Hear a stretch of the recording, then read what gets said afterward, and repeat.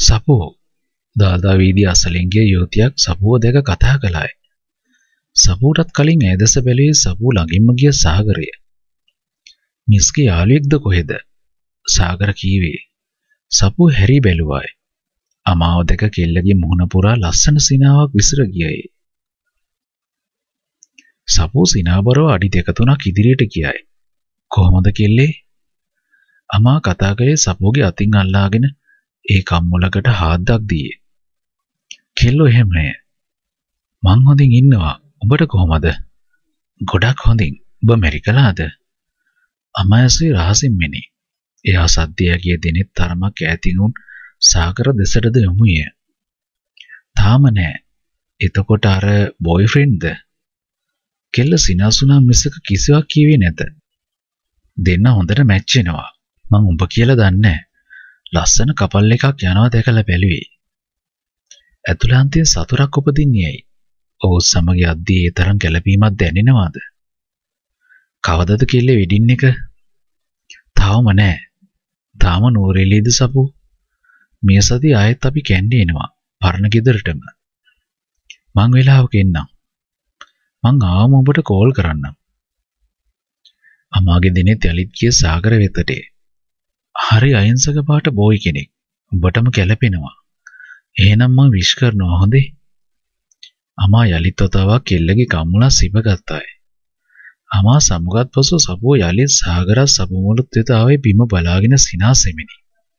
හරි අහිංසක පාට බෝයි කෙනෙක්. සපු බේක් හවුස් එකට යන අතරවාරේ ඔහු දෙස හොරෙන් බලා අමා කිව් දේ සිතින් ප්‍රතිරාවය කළාය. බේක් හවුස් එකට ගොස් තුන්දෙනාම කොණේ වූ කුඩා මේසයක ඉඳගත්තෝය. මෙහෙම ඇවිත් කන්නට සපුව පුදුම ආසේ. එහෙම ඇවිත් කද්දේ හිතට පුදුම සතුටක් දෙනි. සැහැල්ලුවක් දෙනි. ඉන්දියාප්ප ගෙනා පසු ඒවා බෙදුවේ සපුවේ. ඇය මුලින්ම බෙදුවේ ඔහුටය. සපු ඉන්දියාප්ප 20ක් පමණ බෙදා net පමණක් ඔසව උදෙස බැලුවාය. සාගරය සුඩට දැම්මේ. එච්චර ඉන්දියාප්ප ගොඩක් කන්නට අමාරුයි. ඒත් දැන් ඇයි බෙදු නිසා කන්නට ඕනාමයි. සපු මල්ට ඉන්දියාප 10ක් පමණ දැමූ සපු ඇයට දාගත්ත ඉන්දියාප පහකි.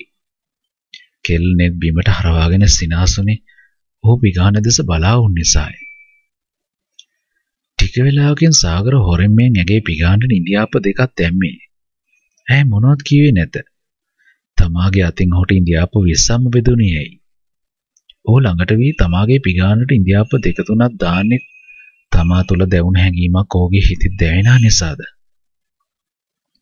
සපු අලුතින් තීන්ත පිරියම් කළ නෝර ගෙදර බිත්ති අතර යමි අලුත් තීන්ත සුවඳ ආශාවෙන් වින්දාය. මේ සියල්ල කළේ ඔහුය. ඇයට දුක සිතෙන්නේද ඒකය. දැන් නෝර ගෙදර අලුත් ගයක් මෙනේ. ඔහු තේරූ පාට පවා ලස්සනේ. තැම්පත්ය. සපු කාමරෙන් කාමරයට ගියේ විදුලි පහන්ද දැල්වමනි. මේ ගෙදර බිත්ති අතර ගෙවී ගිය ඇගේ ළමා කාලේ ඇයට සිහිවිය. ලොකු ළමයේ කූදා දින හතක් වුන් කාමරයට ගොස් සපූ බිත්තියට බර වී බලා වුණාය. එදා තදත් අතර වසර 6ක් 8ක් පමණ ගෙවි ගොසිනි. සාගර කාමරයට ආවේ ඇයි බිත්තියකට බර වී ඇස් පියාගෙන මෙන් අතීතයට ගොස් තිබීදී. සාගර කාමරයේ දොරකඩ අසල නැවති මොහොතක් ඇය දෙස බලා වුණේ. අලුත් බිත්තිය වලට එළිය වැටි ඒ බටර් පැහැගත් එළිය එහෙමම ඇගේ මුහුණට වැටී තිබුණි. සපු නොසිතූ මොහතක දෙනෙත් ඇරියයි. දෙනෙත් ඉවර කළ සැනින් ඇය දුටිය ඔහුය. දෙනෙත් එකවර ගන්නට පවා සහගරට වෙලාවක් නැතිවිය. ඔහුගේ දෙනෙත් තුළ වූ බැල්ම කෙල්ලගේ හදවතේ පතුලටම කිඳා බැස්සේ. මිස් මේ ඔහු අපහසුතාවයට පත්ව ඉන්නේ හොරේ අසූ නිසායි. වැඩ ඉවරද? සපු මුදු හඬින් ඇසුවාය. ඉවරයි මිස්. එහෙත් යන්නට හිතක් නැත. සාගර කාමරයට පැමිණ ඇය වටේ ඇවිද්දී. මිස් පුංචි කාලේ හ්ම් පෑන්ටිය විතරක් ඇඳගෙන මේ පොළවේ සනීපෙට නිදා ගන්නවලු. ඔහුට මේවා කියන්නට ඇත්තේ අම්මාය. ලොකු නෝනා මිස්ස හොයනවලු. බය වෙලා කී දෙවෙනත් කරනවලු. අන්තිමට කොහේ හරි මුල්ලක වැටිලා නිදිලු. පව්. ඔය කිව්ව ආකාරයට සපුගි පවා දෙනෙත් එත්තිය. ඔහු පව්යයි කීවේ ඒ පුංචි ගැහැණු ළමයා ගැන දුක සිටීද? අපි යම් මිස්. සාගර කාමරයේ දොර අසලෝ විදුලි පහන නිවා දමන ස්විචයට ඇඟිලි තුඩු තබාගෙන කීවේ. සපු ඒත් නොසැල්ලී බිත්තියට බර වී බලා වුණාය. අපි යන් ඉක්මනටම මෙහෙට එනවනේ. ඔහු නැවත දයාබර ලෙස කීවේ. කෙල්ලාවේ ඉන්පස්සේ මොනවද ඔහුට කියන්නට මෙන් පපුව සැලේ. ඒත් ඒ මොනවදයි දන්නේ නැත. චූටි මැණිගේ ගේ නම් දැන් පුදුම සිරියාවයි. බණ්ඩා කීවේ සපුව මිදුලට බසිද්දී. ඕන්නේ දොරවල් වස ඇද්දේ බැලමිනි. මේ පුතා නම් චූටි මැණිගේ රත්තරන් කඳා. චූටි මැණිකලගේ සහෝදරයෙක් වගේ මේවට නැහෙන්නේ.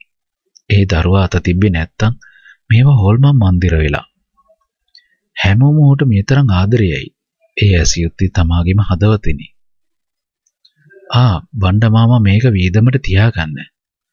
සපුවැගේ පර්ස් එකකින් ගත් රුපියල් 500 කොලයක් බණ්ඩා වෙත පෑවාය. හොඳමයි චූටි මැණිකේ. හෙට අනිද්දාට අපි බඩු අදිනවා.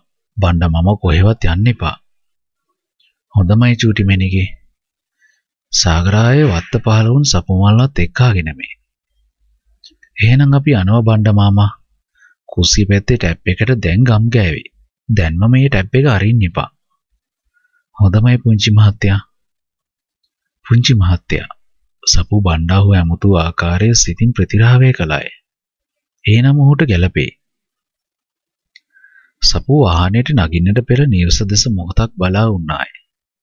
ඊටත් පසු බැලුණේ ඔහු දෙසේ. ලස්සනයි. එහි මෘදුහණින් කීවාය. සාගර ලස්සනට සිනාසුනි. එද්දි පේරාදිනේ පසු කරත්තිම වගේ සපුමල්ට වාහනේම නින්ද ගියේ. සාගර මග වාහනේ නවතා සපුමල්ල පිටිපස ආසනයේ දිගා කළේ. මිස්ටර් නිදිමතද? සාගර ඇස යලිත් වාහනේ පදවන අතරතුරේ. ඇය සිනාසුනා මිසක කිසිවක් කීවේ නැත. මං එක්ක මිස් නුවර එන්න කලින් කුරුණෑගල ගිහින් එන්නද? ඕ එහෙම යනවා නම් හොඳය.